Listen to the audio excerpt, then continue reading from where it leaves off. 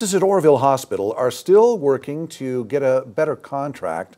Action News Now reporter Camille Acevedo was there last month when the RNs picketed out front, and she joins us there now live. So, Camille, are they making progress in negotiations with the hospital? Not at the moment, Haley. One male nurse that actually works here at the hospital tells me that the California Nurses Association and the Oroville Hospital here has not came into agreement yet in terms of those contract negotiations. Now, I would like to add that that contract was extended on until January 31st, and then it expired in February. It is frustrating. You know, there is, you know, we continue to have some moral despair over, you know, the lack of uh, movement.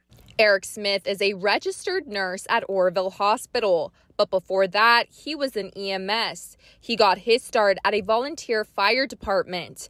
That's when he realized he had a passion to help people. I discovered that I had an aptitude for it and a love for it, um, for helping people in some of their um, uh, most times of most distress and most need.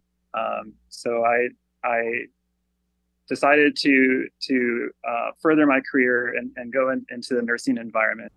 Smith is one of the many nurses who were out picketing last month to improve the hospital's working conditions and for better pay. Representing the group of nurses is the CNA. Smith says not much has changed since the picket. He and others are still claiming inadequate staffing levels that puts patient care at risk. It, it continues to be a, a, struggle. You know, we we still um, we still show up and we give the best patient care that we possibly can given um, difficult circumstances to, to work with.